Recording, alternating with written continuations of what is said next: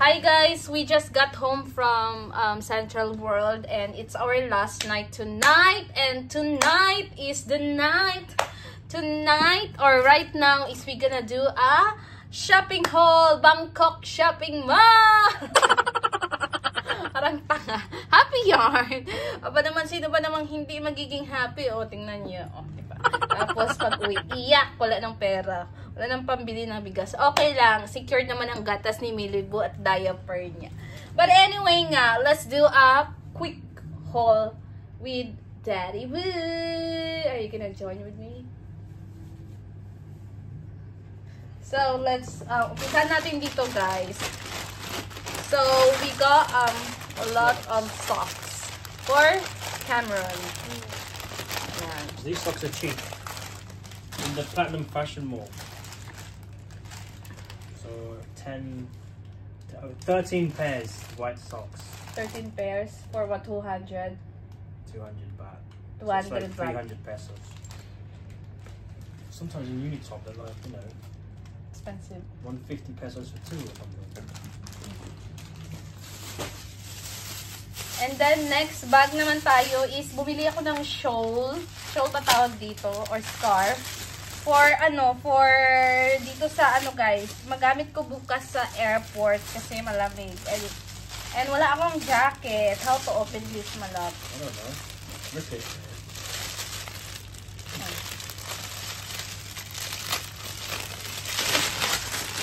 Nabili ko siya lang siya ng 50 baht. How much is that? 50 pesos. 50 baht.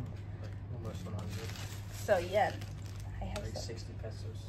And then I can, you know. So, I, um, you know, for tomorrow, just in case it's cold.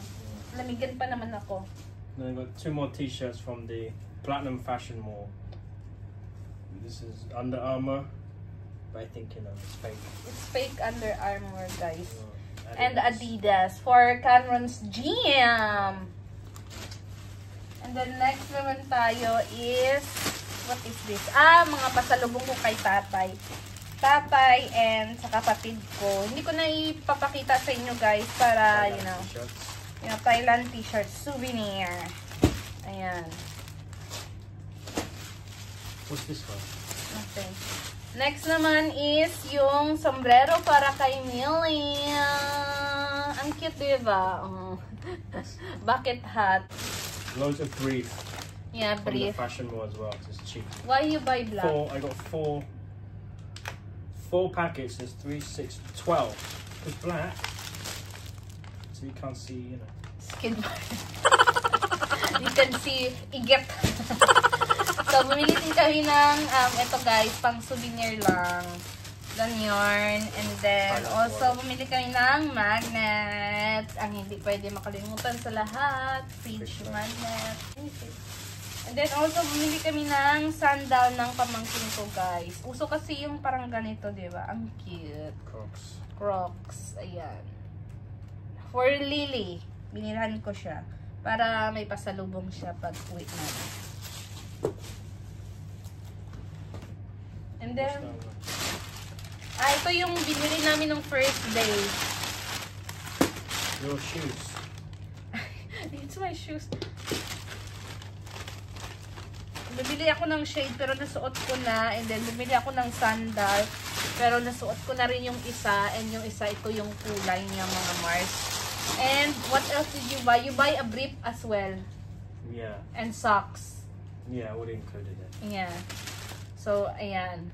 Yung isa puti. Na sinusuot ko siya nung first day namin. You don't need these bags, do you? Hmm. And then, also, Cameron got, uh, you know, My favorite shirts. favorite t-shirt. Yung presyo pang sampung pirasong t-shirt ko ng mga Mars. Because here you get everything is duty free. If you're a tourist, you get you claim your you claim your tax back at the airport with the receipt. Yeah. If you spend how much? 2,000 and above. Yeah, something like that. Yeah, so dalawa yung binili niya sa Fred Ferry, mga Mars. And then sabi namin, bumili ka na kasi min minsan lang naman ito, sabi ko sa kanya. Also Ralph Lauren. And La- Ralph Lauren.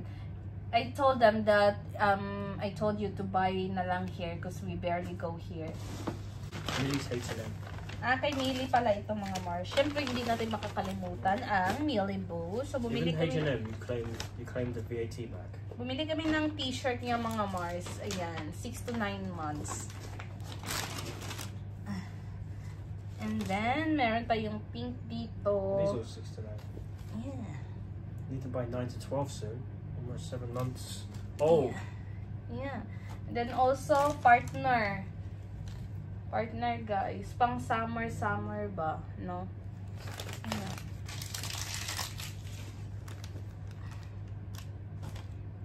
And then, next. bought these, right?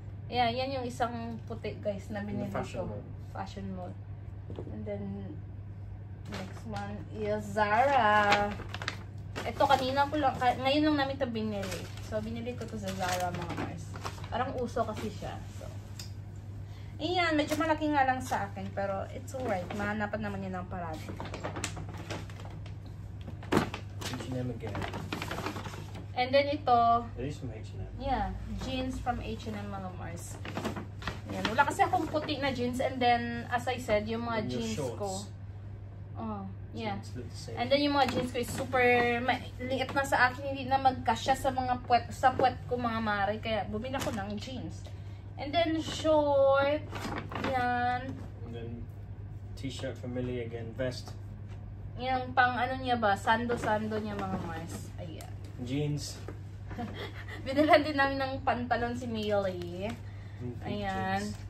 Kasi nga, plano namin mag-family photoshoot and then sabi ko mag-jeans kami and then mag, um, you know, mag-jeans kami and mag, um, white t-shirt. Then my new shoes. Yeah! These in the UK are so expensive and they're so cheap here. So you know, Sana couldn't resist. all. And then, you know, the white shoes that he have like this, I got it for 10,000 pounds. That Ten thousand pesos. 10,000 pesos, guys. Yeah, but here, in you know, original in in the Nike store, these are around three thousand pesos. Mm, ang laki ng sinay. In the UK or anywhere else, they're going to be ten thousand. Lucky because they had sale as well, and then you're going to claim the tax back. It's less than three thousand. Yeah. Then it's easily for you to find your size here. The chocolate ones. Yeah. This one, Loads of you know wafers. All these are like twenty baht. cakes, Cake again. um, Biscuits. biscuits.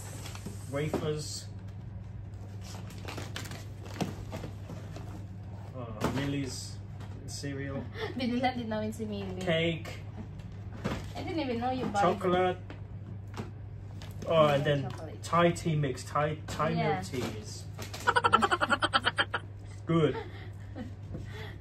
Then you got, you know, Obviously, you should get stuff from Thailand. Yeah, loads like of, you know, curry. curry. spice curry sauce. And then also, bumili ako ng malaking ganito, Yeah, guys. biscuits. Kasi I like this. I like this kind of This is gonna fit everything. Gonna fit. in suitcase. Hopefully. And then, last but not the least, show it. And then also for Millie, guys. we So- got a iPad for her kasi um wala lang. Just don't let her throw that. Bigyan namin siya ng iPad, guys. Para- iPad baby. iPad baby.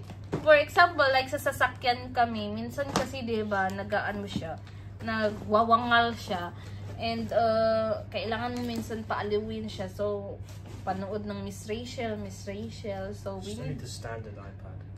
Yang, yung ano lang, standard lang na iPad. Hindi yung sobrang mahal talaga. And we got it 256 Oh. GB, right?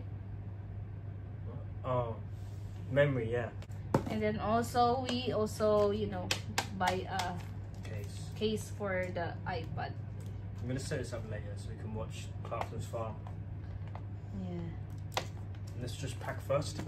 Yeah, What so time is um, it? magpapak lang kami. So we're gonna leave six six a.m. One hour to the airport yeah. because maybe there's a big queue for the VAT refund. Mm, Hopefully not. But Early pa kasi yung ano namin mga Mars. I'm gonna get the bag.